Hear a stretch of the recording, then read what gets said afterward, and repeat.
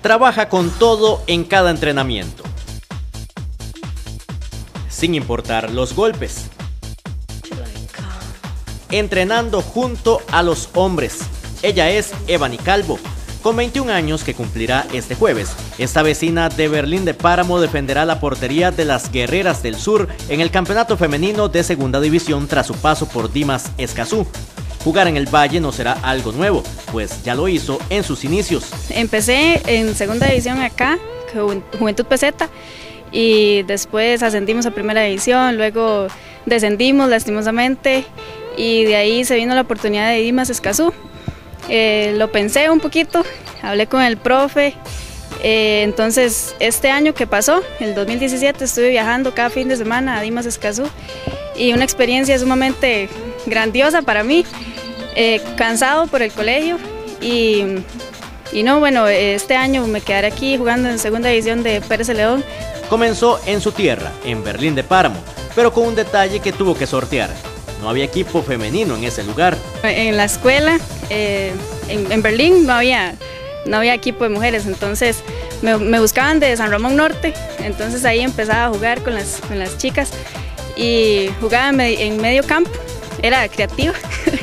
y luego ya eh, un señor, don Orlando, que fue promo, promotor del fútbol femenino aquí, este, él estuvo en cantonales, él me vio un tiempo y ya él me llamó, me dijo que, que si quería ser portera, porque en un, en un encuentro contra él tuve que, que, buscar la portería porque no había alguien.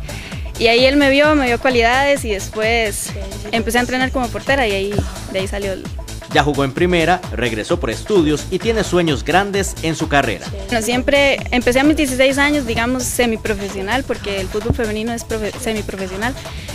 Y siempre he aspirado a la selección nacional, que es lo que cada eh, futbolista quiere. Y mm, de ahí esa es la fe, todavía está ahí, eh, esperar a, ver si, si, me dan alguna oportunidad. No se me ha dado tal vez por la distancia vivir en Pérez León y el colegio y todo esto, entonces igual la fe sigue y vamos a ver qué pasa. Las prácticas son junto a los hombres, junto a los nuevos guardametas que tiene el municipal Pérez Celedón, algo que más bien es un beneficio para ella. Es mejor, para mí es mucho mejor porque ellos bueno, el profe Joa nos, nos ayuda muchísimo. Eh, prepararme con, con, hombres es mejor de toda la vida he jugado con hombres en la escuela, en, mi pueblo, entonces para una mujer es, es, mucho mejor porque el nivel es más alto.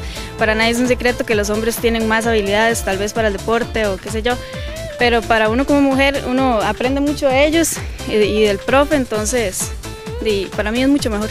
Regresar a préstamo a Pérez Celedón será un beneficio también para el equipo, pues tendrá más experiencia en la portería. Y bueno, aprovechar la experiencia aquí con ellos para ver si, si Pérez Celedón vuelve a la primera división femenina.